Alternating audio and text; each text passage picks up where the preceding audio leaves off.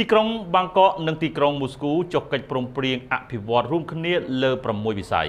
សារព័ត៌មាន The Nation បានរាយការណ៍ថាអនុសរណៈនៃការយោគយល់គ្នាត្រូវបានចុះដោយលោកចាកាប៉ាន់ភៀវងាមអភិបាលរងក្រុងបាងកកនិងលោកសៀហ្គីសៀរមីនមន្ត្រីទទួលបន្ទុកកិច្ចការសេដ្ឋកិច្ចនិងទំនាក់ទំនងអន្តរជាតិរបស់រដ្ឋបាលក្រុងមូស្គូតើអនុសរណៈនៃការយោគយល់គ្នាចំនួន6ចំណុចនេះមានអ្វីខ្លះទៅតាមស្មារតីនៃអនុសរណៈដែលបានចុះទីក្រុងទាំងពីរបានកំណត់គោលដៅជំរុញកិច្ចសហប្រតិបត្តិការនិងការផ្លាស់ប្តូរបទពិសោធន៍គ្នាលើវិស័យពាណិជ្ជកម្មនិងសេដ្ឋកិច្ចទីក្រុងឆ្លាតវៃនវីនវត្តនិងការដឹកជញ្ជូនការអភិវឌ្ឍនិងបរិស្ថានប្រកបដោយនិរន្តរភាពការការពារផ្នែកសង្គមគិច្ចនិងការថែទាំសុខភាពវិស័យអប់រំនិងកីឡាព្រមទាំងវប្បធម៌និងទេសចរសម្រាប់រយៈពេល3ឆ្នាំទៅមុខពលគឺចាប់ពីឆ្នាំ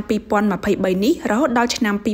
2025ភាគីទាំងពីរបាននិយាយពីវិស័យពាណិជ្ជកម្មនិងសេដ្ឋកិច្ចគ្រោងនឹងលើកកម្ពស់សហគ្រិនភាពនិងអាជីវកម្មក្នុងស្រុកនៅក្នុងសកម្មភាពពាណិជ្ជកម្មអន្តរជាតិជាមួយទីក្រុងផ្សេងៗទៀតជាពិសេសពាក់ព័ន្ធនឹងសេដ្ឋកិច្ច Digital និងពាណិជ្ជកម្មអេឡិចត្រូនិកក្នុងវិស័យទីក្រុងឆ្លាតវៃនវីនវត្តនិងការដឹកជញ្ជូនរដ្ឋាភិបាលនៃក្រុងទាំងពីរបានព្រមព្រៀងគ្នាផ្លាស់ប្តូរដំណោះស្រាយលើគំនិតដូចផ្ដើមទីក្រុងឆ្លាតវៃ ក្នុងនោះមានទាំងការអភិវឌ្ឍការអប់រំការច្នៃប្រឌិត និងប្រព័ន្ធដឹកជញ្ជូនសាធារណៈចំណុចចុងក្រោយនេះបញ្ចូលទាំងការលើកស្ទួយរបៀបដឹកជញ្ជូនបែបច្នៃប្រឌិតដោយប្រើប្រាស់ធម្មពលស្អាតនិងធម្មពលផ្សេងផ្សេងទៀតចំពោះវិស័យអភិវឌ្ឍនិងបរិស្ថានប្រកបដោយនិរន្តរភាពវិញកិច្ចសហប្រតិបត្តិការគ្របដណ្ដប់លើការការពារបរិស្ថានទីក្រុងការគ្រប់គ្រងការបំពុលការគ្រប់គ្រងកាកសំណល់ការកែច្នៃឡើងវិញនិងការអភិវឌ្ឍតំបន់បៃតងរាជធានីបាងកកនិងរដ្ឋធានីមូស្គូត្រូវបានគេដឹងថាជាទីក្រុងដែលមានប្រជាជនសរុបប្រមាណជាជាង10លាននាក់ប្រហាក់ប្រហែលគ្នា